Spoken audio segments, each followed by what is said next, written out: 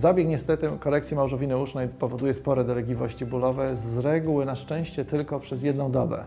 E, To ten ból jest związany, mm, co ciekawe, wcale nie z przecięciem skóry tutaj z tyłu za małżowiną uszną, E, nie z tym, e, że modelujemy chrząstkę. Chrząstka nie ma żadnych zakończeń nerwowych, więc ona tak naprawdę w ogóle nie boli. Natomiast jest związane z obrzękiem. Jak można zaobserwować tutaj u każdego z nas, ucho, skóra na uchu jest mocno zrośnięta z podłożem.